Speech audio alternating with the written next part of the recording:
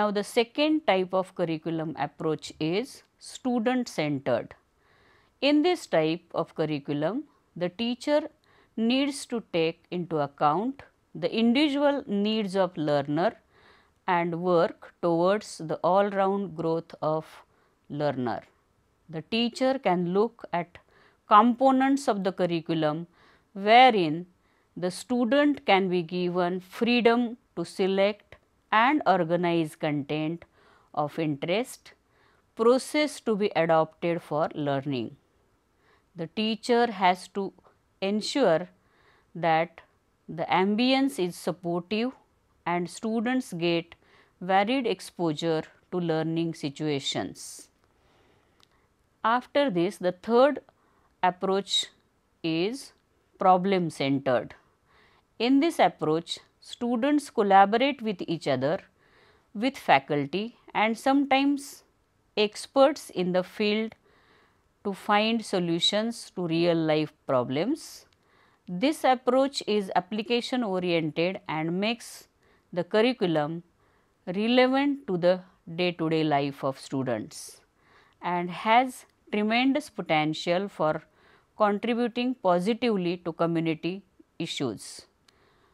With the prior knowledge of community problems, teachers can use these opportunities for students to apply their learning. The teacher can demarcate components of the curriculum that can be transacted to, through this approach. As already said, teacher can use any of these three or combination of them to design the experiences. Once design phase is completed, organization phase starts. The third phase of curriculum development is organization. Three steps suggested by Hilda Taba fit into this category organization of content, selection of learning experiences and organization of learning activities. Teachers can help with determining how much weightage should be given to various topics. They can do this based on learner needs and based on their own observations and classroom experiences. The role of teacher has transformed to that of facilitator, mentor and guide. As a facilitator, the teacher must choose learning experiences which are mindful of variety of learning styles and empower students to become self learners and lifelong learners.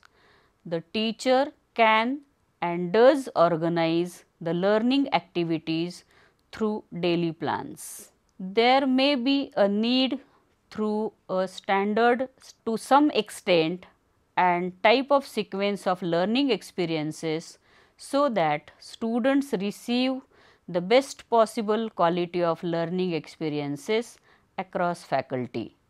Also, the teachers can organize the activities in such a way that both cognitive and affective development of students is taken into account. Some points are important that teacher must keep in mind while organizing the learning experiences and they are simple content which should precede complex content. The content must match the maturation level of learners. The content must satisfy the immediate needs of learner. The content should provide direction sequence. Sequence should follow a chronological order. Now, the last phase which is evaluation of curriculum. Contemporary education recognizes evaluation as an integral part of instructional process. Modern educational procedures divide the responsibility of the teacher into three distinct areas.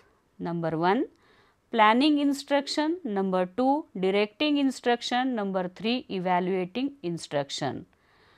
All three functions are of equal importance and have an impact on the actual results obtained by students in terms of their achievement and growth. The teacher is involved in the identification and formulation of comprehensive range of major objectives of curriculum. Their definition in terms of student behavior and the construction of valid, reliable and practical instruments for observing the specific phases of student behavior such as knowledge, information, skills, attitudes, appreciations, personal and social adaptability, interests and work habits. The teacher is expected to carry out evaluation using following steps. Number 1 formulating objectives. Number 2 securing guidance on achievement of objectives in selected situations. Number 3 summarizing and recording evidence, interpreting evidence and fifth using interpretations to improve instructions and student progress report. In the ongoing role of an evaluator, the teacher has the following functions. Number 1 integration with instruction. Appraisal cannot be separated from instruction in the classroom. The alert teacher observes and notes students needs and makes changes to improve the program it is being developed. The teacher uses valuable evaluative procedures such as group discussions, peer observations, preparing charts, or group standards and using checklists as a part of instructional process. Second, evaluation is an ongoing process. Throughout the year, the teacher employs diagnostic, formative and summative evaluation techniques to assess learning. Diagnosis appraisal is done to determine individual and group needs. Formative evaluation provides evidence on learning and how instruction should proceed. Summative evaluation at the end of the unit or course is done to get the evidence for the attainment of stated objectives. The teacher blends all three parts of the instructional process. Number 3 evaluation as a cooperative process.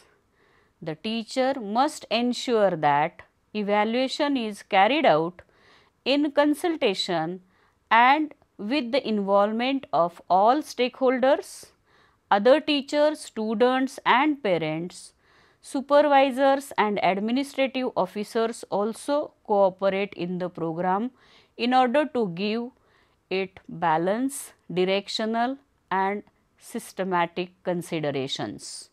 Number 4 clear link with objectives. The teacher has to continually ensure that assessment and evaluation is in the line of objectives. Number 5 variety of setting. The teacher needs to be alert to new ideas, new ways of doing things and take suggestions and arise out of group discussion. Number 6 use of variety of devices. If the teacher has to evaluate all outcomes, then he or she needs to use different instruments and techniques. Checklists can be designed to apprise cooperation, discussion and use of materials tests for measuring concepts, information and study skills and anecdotal records, charts, rating scales and other devices can also be used as need arises. So, friends, in conclusion, we can say teacher can play a pivotal role in the various phases of curriculum development. This includes contribution in planning, designing, organizing and evaluating the curriculum. Thank you.